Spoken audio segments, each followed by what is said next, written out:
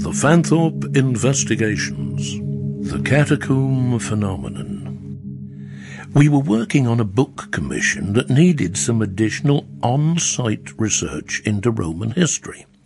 And having visited and investigated the locations that we needed for the book, we decided it would be a good idea to explore the catacombs while we were there.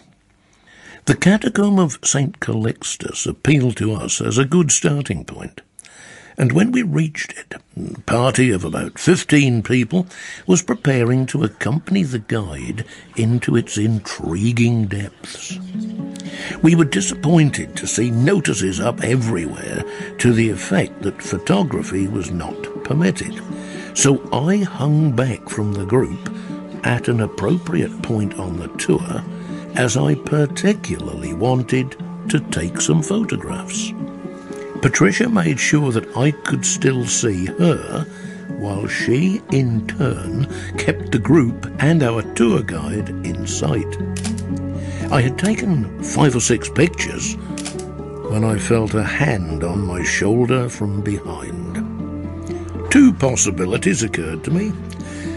A catacomb security officer hoping to confiscate my camera, or a mugger. As a third Dan martial arts instructor, I rather hoped it was a prospective mugger. It turned out to be neither. I looked round slowly to see who or what it was.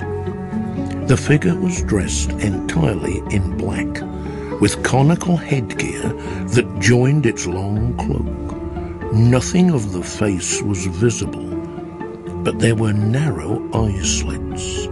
The strangest thing of all was the feeling that accompanied it. There was nothing sinister, nothing hostile, nothing weird or frightening, despite its odd appearance. The feeling that emanated from the strange hooded figure was intense curiosity. I sensed that it wanted to know who and what I was and what the camera was. Very, very slowly, it began to fade until it vanished altogether. I caught up with Patricia and we rejoined the main party unobtrusively. There was a sequel, however.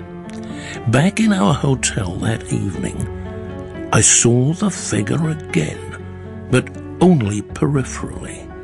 This time it was much smaller, only about four feet high, yet otherwise the same in every detail. Within a few seconds, it faded away again. We have never seen it since. One interesting theory came our way when we were discussing the episode with an historian friend who was something of an expert on the catacombs, early burial customs there, and costumes of the period. He told us that costumes similar to that worn by the strange entity that I had encountered in the Calixtus catacomb had been used by priests conducting funerals there centuries ago. As part of my work as a priest today, I frequently conduct funerals. Was it another funeral priest from long ago that I had encountered in the catacomb? Was he aware of what I did and curious about the differences between our work? We can only guess. The inimitable Lionel Fanthorpe there. The Fanthorpe investigations were produced by Paul Arnold. And that was the last of our priestly stories of the paranormal, but if you miss the others, you can hear them again here during the week in the seventh dimension as an extra treat.